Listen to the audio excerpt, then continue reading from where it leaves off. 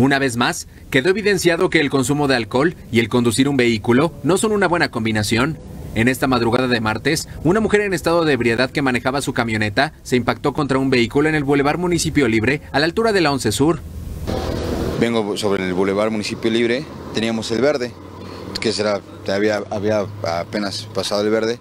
Le digo a mi esposa, como apenas empezó a manejar, le digo, mira amor, ahorita que la madrugada pues, el verde es rojo, le digo, mucho cuidado cuando usted manejando con los niños. Justamente cuando le digo el verde rojo, vengo acá a mitad de cuadra y veo que la camioneta viene bien rápido, pues de, de tercera metro a segunda, y es a donde me llega a impactar. En el lugar, testigos y los involucrados dieron su declaración ante los elementos de peritos para fincar responsabilidades. Ello, mientras paramédicos también valoraban a los tripulantes de ambas unidades. Por su parte, el conductor informó que su vehículo quedó en otro sentido por el golpe que recibió en la parte trasera.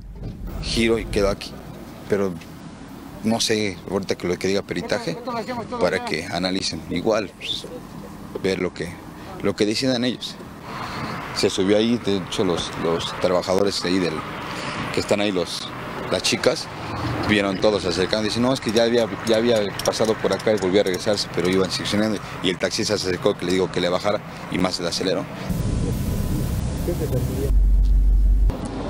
Debido a la fuerza de este impacto en la camioneta donde conducía esta chica, bueno, se tuvieron que activar las dos, las dos bolsas de aire. Tiempo después, pues bueno, también eh, fueron valorados médicamente tanto esta conductora como el conductor y el acompañante del otro vehículo. Allá, de acuerdo con paramédicos, bueno, solamente presentaron algunas contusiones ligeras y no se reportaron con lesiones graves ninguno de los tres involucrados.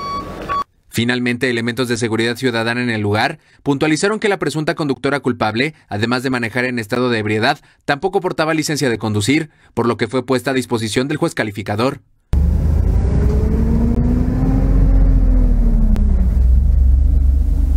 Con imágenes de Alitzel García y Manuel Arroyo, Fuerza Informativa Azteca.